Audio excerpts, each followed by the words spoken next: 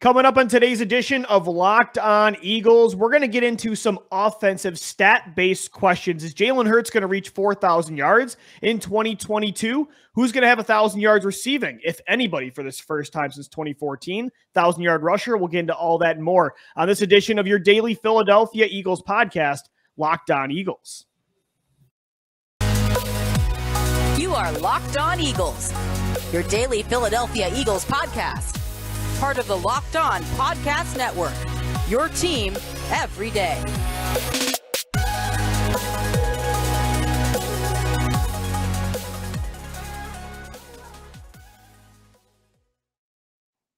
We thank you so much for making Locked On Eagles your first listen each and every day. Welcome in Eagles fans to a Wednesday edition of the show. I'm Louie DiBiase. He's Gino Camilleri. We've been your daily Philadelphia Eagles podcast now for four years running, available on all podcast platforms and on YouTube as well. Make sure you hit us up on Twitter. We're talking birds all throughout the day, especially now with training camp under two weeks away, two weeks from yesterday, July 26th, of the NovaCare Complex on Twitter at Locked On Birds, at GC24 underscore football, and at DiBiase LOE. Gino, we got into some defensive stat based questions yesterday as we get ready for training camp, talking about, you know, who's going to lead the defense in sacks, interceptions, tackles for a loss. Like who's going to outplay each other at the linebacker position between Kyzir White and Kobe Dean, Davion Taylor and TJ Edwards, Haason Reddick and Josh Sweat up front the new roles for Fletcher Cox and Brandon Graham, a jam packed show. We're going to do it again today for the offense.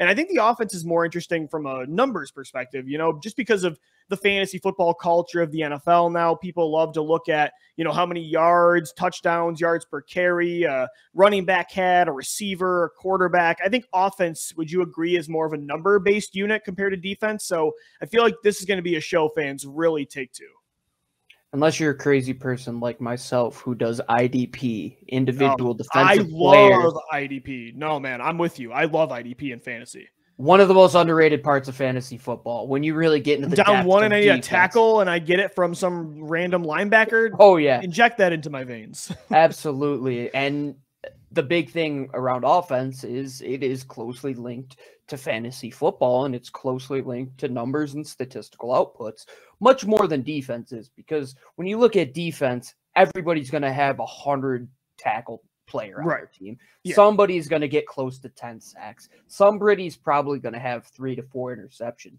the variability comes into play on offense when you have the Cooper Kupps of the world versus your middle of the road wide receivers. There's a clear discrepancy between the top, the middle, and the bottom simply by looking at the numbers. And sometimes yeah. you could get gaudy numbers like the Kirk Cousins of the world. And we know that every stat really Derek doesn't. Carr over the yeah, years. Derek yeah. Carr in the outside of last season, and now with Davante Adams. I mean, buy mm. all the stock you can in that. But in Philadelphia, it's been something that stats have kind of faded away from the Eagles. They haven't had yeah. these big time producers outside of Carson Wentz's on both sides four thousand yard season. Thousand yard receiver hasn't been since Jeremy Maclin.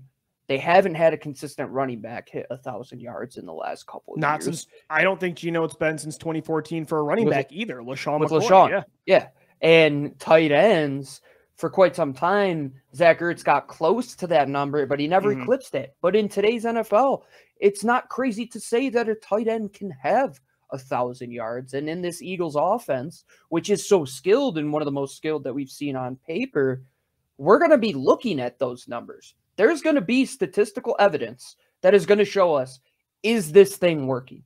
Right. Is Howie Roseman, Jonathan Gannon, Nick Sirianni, Shane Steichen, Jalen Hurts, are they on the same page?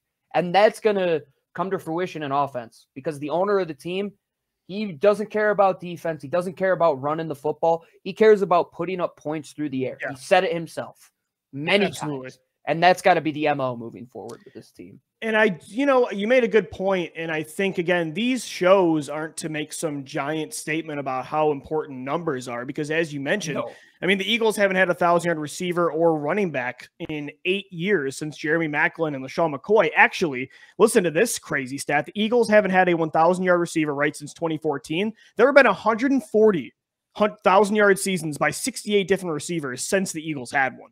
But that, like you said, that doesn't really How- show how that they haven't had. statistically does that make sense? It's incredible. it. It's an incredible feat, but you know that doesn't mean they've won a Super Bowl since then. They've made the playoffs in four of the last five years, so the numbers don't tell the entire story. And they've had a bunch of running backs since LeSean McCoy that have really helped this football team: Jay Ajayi, LeGarrette Blunt, Darren Sproles, Miles Sanders, Boston Scott. The list goes on and on. But I think the numbers at the same time, though, can display some of the success that these units have. You know, you can go with deeper numbers, but just overall, you know, I think they do tell a part of the story. You just have to be responsible with how you use number in sports, right? I think Mhm. compared to baseball, where numbers on the surface really do tell most of the story, football's way different. You have to contextualize everything, and, and numbers can lie a lot, i.e., as you said, you know, Kirk Cousins. And that's where I wanted to start was with Jalen Hurts, Gino, because, you know, I think you talk about the Eagles have had one 4,000 yard passer ever. It was Carson Wentz in 2019. As a matter of fact, he did that without a single receiver eclipsing 500 yards. That's never happened in NFL history. But outside of that, Donovan McNabb didn't do it. Randall Cunningham, Michael Vick, Nick Foles in his historic seasons, it never happened.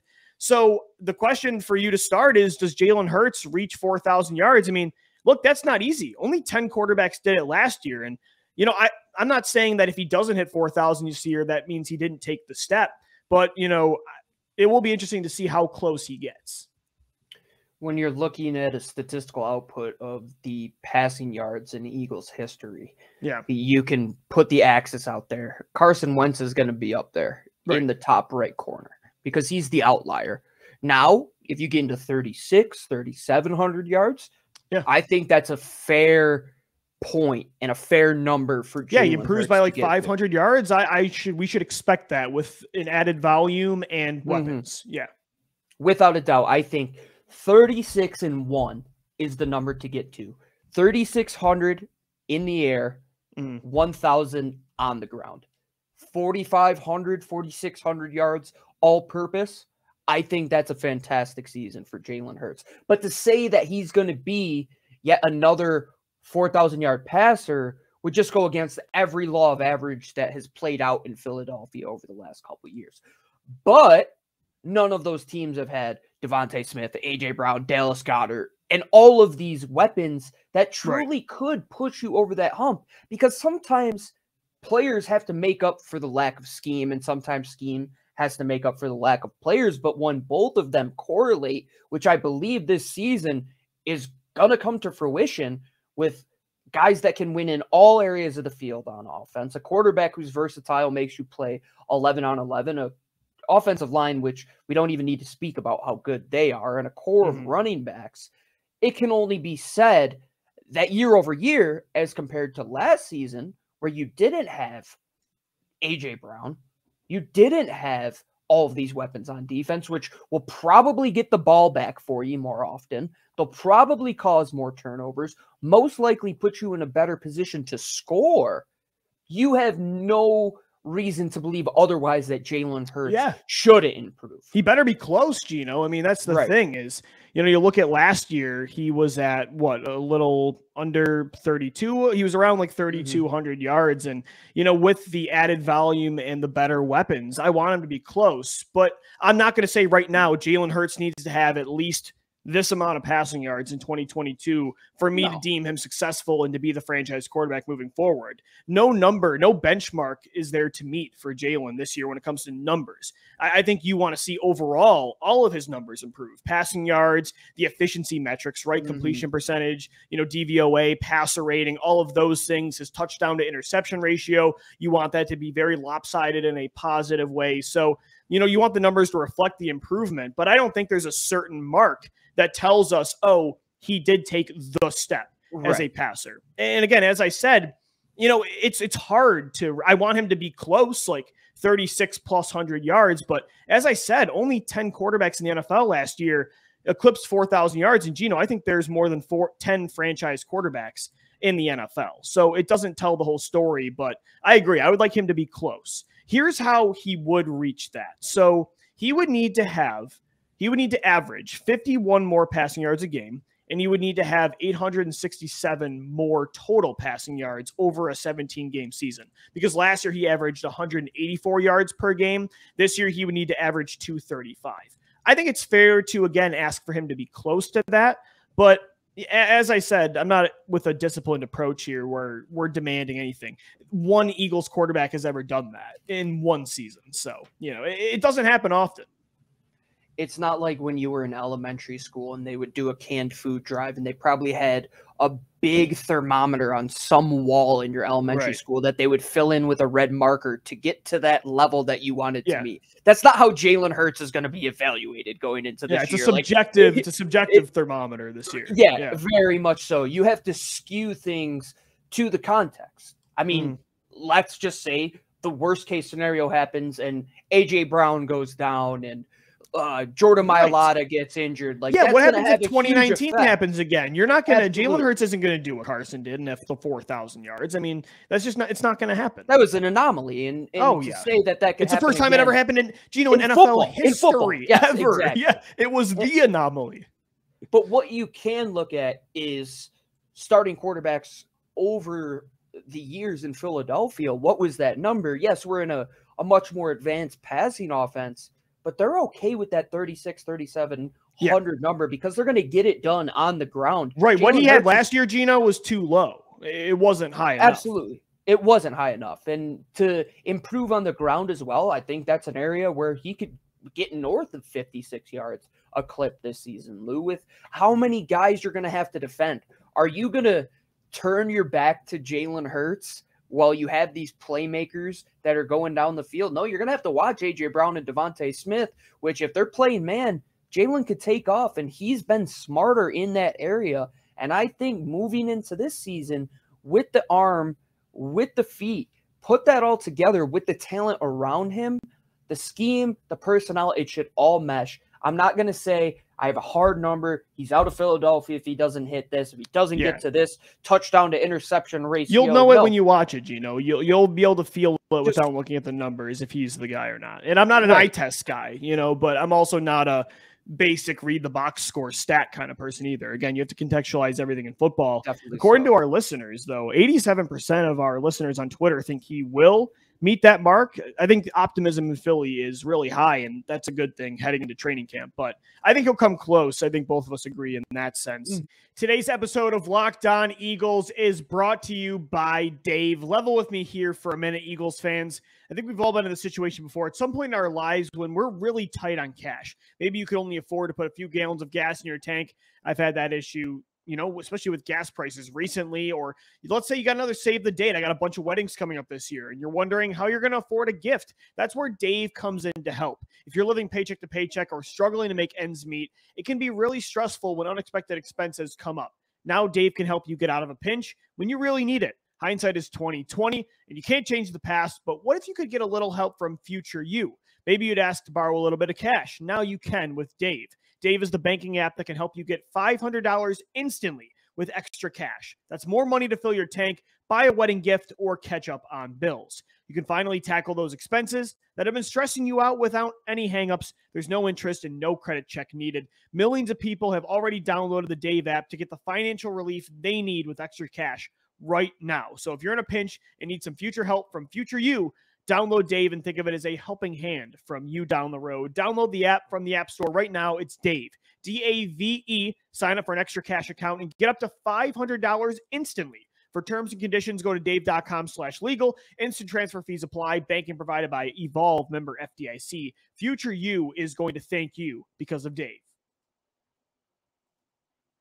Uh, Gino, as we get here into some more offensive stat questions, we're going to dive into the running back position and, you know, talk about Miles Sanders. And if he could reach that 1,000 yard mark, I think a lot of the attention has gone to, you know, receivers and, oh, no receiver has had a 1,000 yards in Philadelphia since Jeremy Maclin. But there hasn't been a running back that's had over a 1,000 since LeSean McCoy that exact season. So we'll get into that. But first, real quick, guys, too, want to shout out uh, the new promotion, the new show that we have coming out on the Locked On NFL podcast on July 18th. NFL stars that move the betting line the most. at betonline.net. Well, starting July 18th, Locked On is going to give you the top 50 most valuable players in the NFL from the odds makers at BetOnline. Available again July 18th on the Locked On NFL podcast, which you can get on all podcast platforms and on YouTube. Jalen Hurts is on that list, and I did react to where he was.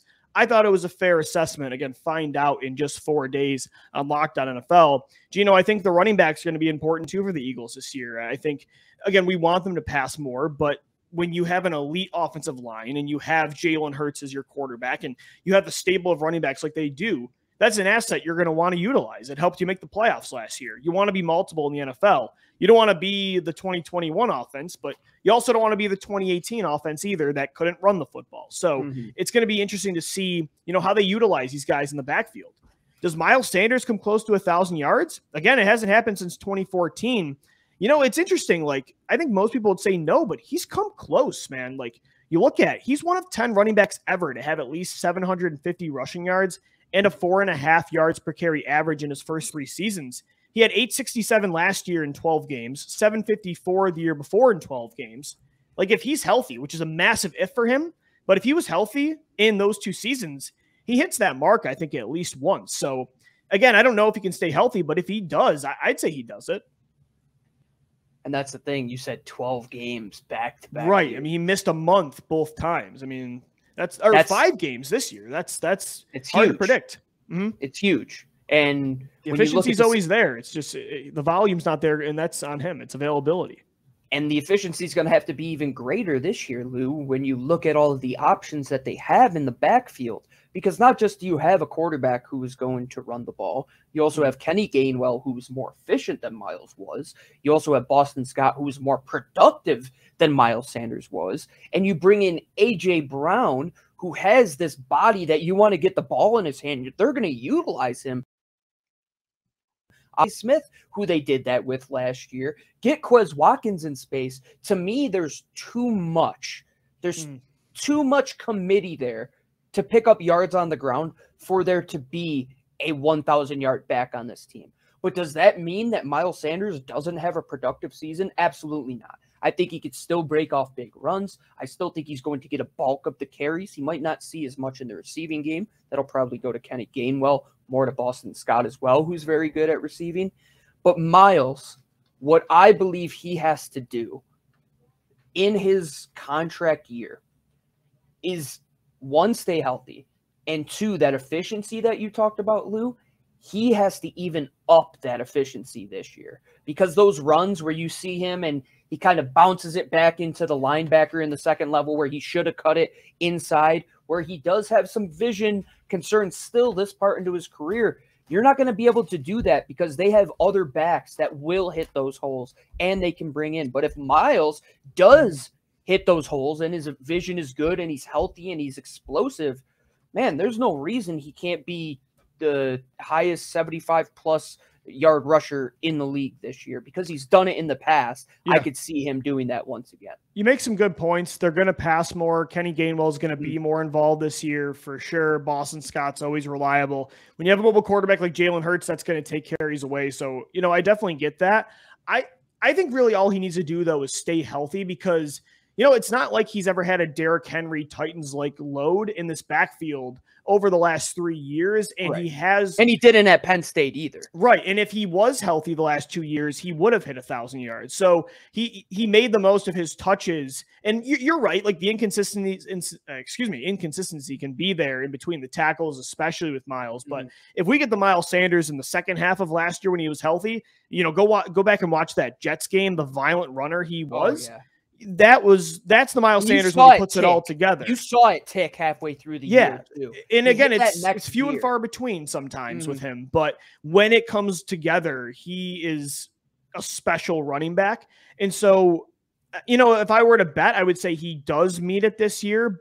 But it's a tough bet because, as you said, there's a lot of factors with the other running backs and the quarterback who's mobile mm-hmm. and the increased volume in passing and Sanders' health. It's it's not an easy bet, but I would just bank on even if he plays a couple more games, 14 or 15 games. And because you remember, even last year, the first like month of the year, there were games where he was only getting two to four carries. Like that's not right. going to happen again either. Even though they're going to pass more, he's not going to have a Cowboys game like last year where he runs the football two times either. So mm. it's a mm. tough bet to make, but it'll be really interesting. Gino, like it is nuts that you know, they have always been a by committee type of team in general always. with their defensive line, their receivers, their running backs. But to not have so Zach Ertz actually did have a thousand yards in 2018 receiving, but to not have a receiver or running back eclipse a thousand is wild.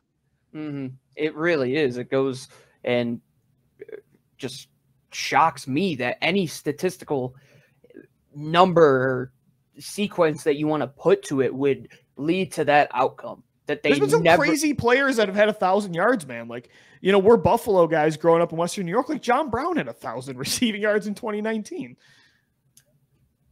I'm not a Buffalo guy. Let's get. Well, I just meant okay. Sorry, you're yes, a Rochester guy, but no, we're hey, I New did York want John, John, Brown could have been a thousand yard receiver. you wanted him in Philly, man. You wanted I him. I really did because I, I know and I saw what explosion and guys that could get down the field can do. And you look at why we were so high on a player like Miles Sanders, right? The last couple seasons, you and I saw it in that Buffalo game back in 2019. Yeah. Not just what he could do in the run, in the pass, he was electric. But then things started to kind of dwindle out. I mean, he got injured. He, of course, didn't have that explosion because he wasn't fully healthy that next season. You go to last year, it's the same type of thing, and then he finally gets around to getting into the miles who he was. And then he busts out a 70 yard touchdown run. You're like, yeah, you hope that trajectory right is going to continue in this offseason, being fully healthy. And we talk about all these weapons on offense as a bad thing to take away from him. Like I said yesterday with Haason Reddick, yes, it'll take away statistically, but when they're out on the field, your eyes have to be in a million different places on offense now. Mm. You can't just say, oh, we got a key on DeVonta Smith, Dallas Goedert, and Miles Sanders. No, you're going to have to be aware of every single player on the field, which for a running back like Miles, if he gets into the open space and a safety has his back turned to him, man, good luck trying to track that kid down in the open field.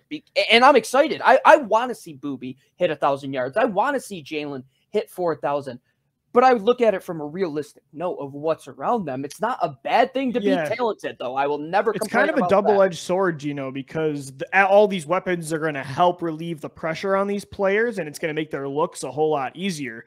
You know, the Golden State Warriors when they had Kevin Durant, like, who are you going to double? Eh, right, you, you really can at that point. You got to play zone. Same thing with the Eagles, but at the same time, yeah, it's going to take the football away from a lot. Like Miles Sanders a, a month ago said, he wants more opportunities but I got news for you. I mean, you're not going to get more carries unless you Only stay one of those pigskins out there, brother. Yeah, you, you, on the season you could have a total of more carries because you played five more games, but your game by game average is not going to go up. So, but uh, again, the efficiency is if that stays the same like it has, then he could come close.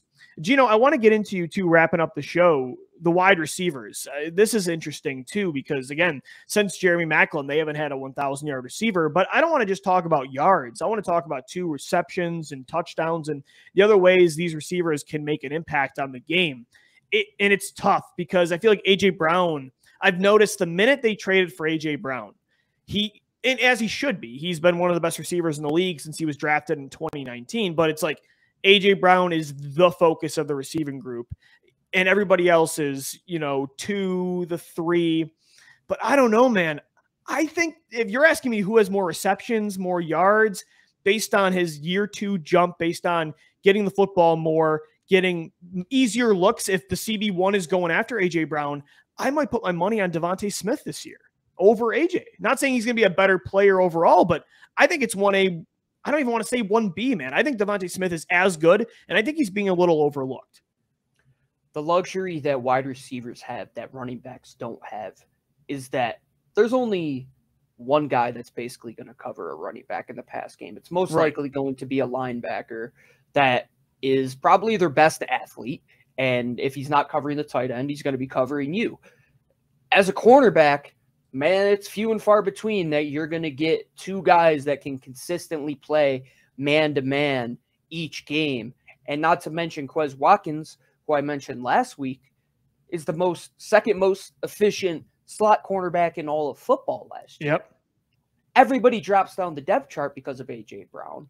No longer is DeVonta Smith going against the Pat Surtains, the Trevon Diggs of the world, the number one guys who he did have success against. I was going to say he still had almost a thousand yards with that in an offense that didn't throw the football. And now with a bigger focus on the pass and DeVonta Smith able to go against second corners, I think and I believe that he should see nothing but an increase in all of those areas that you said targets, receptions, yards per I would say yards per catch goes up too. I think he's going to oh, find oh, yeah. more spaces in the intermediate and deep areas because when you run those those deep double looks when you have him and DeVonta on the same side and you run this deep over dagger concept where DeVonta clears out AJ Brown comes over, you might get that safety to go down to AJ Brown and guess what? DeVonta Smith is behind you on that go route. I just see that happening more often than not because AJ Brown, like you said, is a top guy and they're going to want to take him away. And not to mention, your top safety is most likely going to have to cover Dallas Goedert one on one. So you don't have that luxury of putting another top cover guy there. You're going to have to put your second safety on that side as well.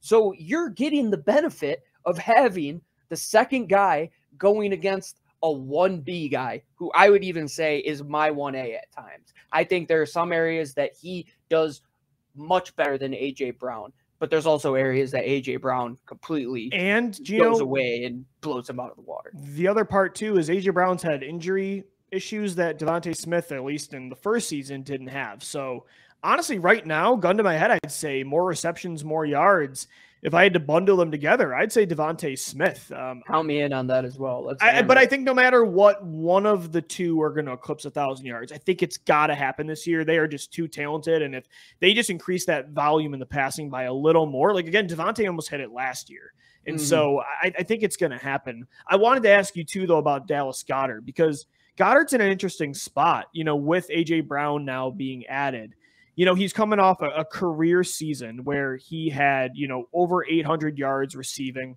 you know, over 50 receptions. Would you guess, and that was in a year where he was injured as well. And again, they didn't pass a whole lot. Would he have, but now that AJ Brown's in and you want Smith more involved and Quez Watkins, does he have more or less yards and receptions from last year? Well, the thing that I would look at, I wouldn't look at so much with AJ Brown. I would look at more of the guy that they acquired to put behind him in Grant Calcaterra, who is a bigger receiving threat than anybody that they had on the roster mm. last year, being Jack Stoll and Tyree Jackson.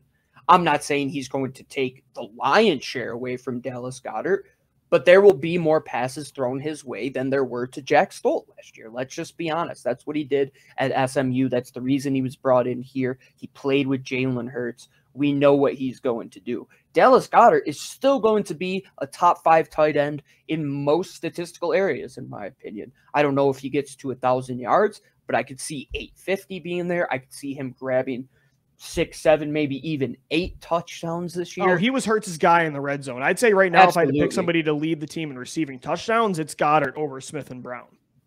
And when you spread this team out wide, you can keep him in line, get him off the scene real quick, get him on a two way go against a backer or safety. He's one of the better route running tight ends in football. Like you said, he's one of those targets that if things go awry, I'm getting my eyes to the six foot six tight end who's right. going to go up and get that ball for me. And I'm excited to see what Dallas does in terms of opening up the run game as well, because he's been key in producing a lot of those open run looks where you're able to bring him across the formation, pin the guy down and just spring the running back. He's been one of the most effective blockers since he came into the NFL. Oh, from the start, man. In 2018, he was great in that area, and that's something Zach Ertz took a while to get better at. Mm-hmm. Goedert was great from the start.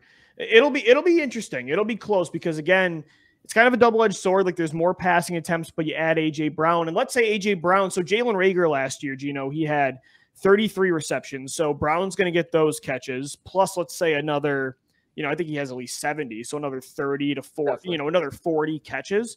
And DeVonta Smith had 64 last year, right? So let's say he gets at least 10 to 15 more. Will there be 50 plus more passing attempts to make up for that and help Goedert at least get to the number he he was at last year? I would hope so. And mm-hmm. the thing is, the efficiency's always been there with Goedert, kind of like Sanders. He averaged outside of Kyle Pitts more yards per reception than any tight end last year at 14.4, you know, per catch. So I think honestly, I think the numbers it might be a push. I think the yards will be around the same. I think his receptions though will likely increase uh, by a little bit though. I, I, think Goedert last year that that's a pretty good. If I can get my tight end with AJ Brown and DeVonta Smith, he's like my third target to get you know almost 60 catches and mm-hmm. you know oh, nearly 900 yards is that third guy that that's perfect for me I would focus more on Dallas's uh, touchdown numbers than his yeah. overall yards. His his yards might go down. I don't think the touchdown production is going to change much. If anything, no. I believe it would go up. You would see more looks for him in the red zone. They're gonna be more spread and more eleven personnel based. And I think his explosive plays are gonna go up too, Gino, because definitely. I mean, the, the middle, of the field is gonna, be, open. way more open. And, and Hurts, Absolutely. hopefully, if he develops, is gonna actually target that area another area that we had talked about, Lou. Yeah. That Jalen didn't like to go over the middle. All of these players, I would say, outside of Quez and DeVonta, actually, DeVonta went over the middle quite a lot towards the end of yeah. the year last year on a lot of those deep crossers. Mm. You better hope that your quarterback has the gall to make those throws because if he does, all of these numbers that we talked about should come to fruition. I don't see that this Eagles team, with the guy that is creating the plays, is creating the offensive game plan week to week, is a bad game planner. I think Nick Sirianni did a lot more with a, a, group that many coaches might not have gotten that much out of last season. And now he has, let's say he brought one pie to the party last year, one pizza to the party. He's hmm. got five or six pizzas. He's going to feed people he's going to make sure everybody gets. I think there. there's enough to go around, man. I mean, again, DeVonta almost had a thousand last year. Mm-hmm. I, I, think there's enough for him to get like 15 to 20 more catches. Dallas Goedert's numbers to maybe go up just a little bit more, and you have room for AJ Brown. I think if Jalen Hurts meets the expectations and you do increase that passing volume. You should expect that. I think it's. I mean, look at the Cincinnati Bengals last year. They had Definitely. I'm not asking for two receivers to have a thousand yards like you know Boyd and Higgins had, but and Tyler Boyd had over 800. But if I can get one guy to have a thousand, another one in that 900 to 950 range, you know, maybe DeVonta's the one with a thousand, and then AJ Brown has similar numbers mm-hmm. to Smith last year, and Goedert kind of averages out to what he had last year. Maybe more catches, but maybe a little less yards, but more touchdowns. And Quez Watkins improves to his numbers. I think that that's very realistic. And you know, again, well, it's just got to see it's all up to Jalen Hurts, man. It really is to to make sure these guys are getting theirs. But um, I, I am I'm, I'm so excited to watch it, man. Two less than two weeks away. It, it looks so much fun on paper. I just want to see how this offense gels together. I mean, as you said, even like Hurts over the middle. That's why AJ Brown was so huge to get because he's such a physical presence in that way. He's going to play inside a lot. There's just so much you can do with this unit. It's it's going to be fun to watch the chess pieces move. To bring this full circle to 2014 if AJ Brown and DeVonta Smith put out Jeremy Maclin and Jordan yeah. Matthew numbers, would you be happy with that? Yeah, no, absolutely. Jordan Matthews had nearly 900 yards as a rookie.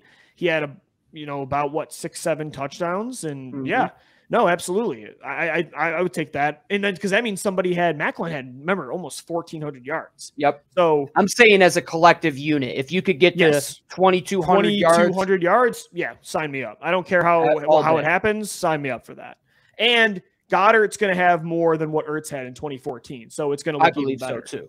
Yeah, I believe so as well. And you you should believe that Quez Watkins could be in for another big year, man. You get him open, he's going to eat down the field. Like he's going to absolutely. Yeah. His numbers might overall not not increase a whole lot. I think he'll be around that six to seven hundred yard mark. But Gino, like his twenty plus yard receptions are going to go up way more. He was at twelve roof. last year. He could have had sixteen plus if he got some different looks. So I think the efficiency with Quez is going to go through the roof as well. I believe the efficiency of this offense as a whole. Uh, it yeah. might take a few weeks for the defense to get right, mm. but this offense I truly believe we won't see that stumble out of the gate as we saw last year. I don't believe they're going to go out and throw Jalen Hurts 45 times a game right off the bat. They're going to mix in closer to 55 to 45 run or pass to run. I don't think you'll see these games where they only hand the ball off two times and throw yeah, it. And you also see one at the end of the year where they're not throwing at all. There's going to be a middle ground in 2021. Yeah, last year was the literally the tail ends of both sides. It was a tale of two halves of the season, mm. which ultimately is leaving us in a place saying if we do what they did in the beginning, it's not going to be great. But if they can carry on the trajectory and how they left off last season prior to the Tampa game, we're not going to put that yeah. out of the way. But what they did in the regular season and how they were able to come together and truly buy into what Nick Sirianni was selling, and that offense took off and won them a lot of the games down the stretch. That's what it's going to have to be this year. I hope, I hope that they're in games where it's 38 to 35 and the Eagles come out on top. That's all that's I, all we want. I want to see Big 12 football back in the NFC East. They have the talent to do it. Let's see if they put it all together. We got you covered as we get ready for training camp each day throughout the week, Monday through Friday, and all podcast platforms in video form as well on YouTube. And make sure you follow us on Twitter. We're always talking birds throughout the day. Who do you think is going to lead the team in receiving yards, receptions? Does Miles Sanders hit that thousand yard mark? Make sure you vote on our poll too about Jalen Hurts eclipsing 4,000 passing yards at Locked On Birds, at DiBiase LOE and at GC24 underscore football. Thank you so much for making Locked On Eagles, the most Italian Eagles podcast, your most, uh, I should say, again, your only daily podcast, your first listen each and every day. Make sure your second listen is the Locked On NFL podcast, all the news across the league in under 30 minutes. It's free and available wherever you get your shows. For Gino Camilleri, though, for now, we're going to sign off. I'm Lou DiBiase. We'll see you tomorrow. As always, thank you for downloading. Thank you for watching and listening.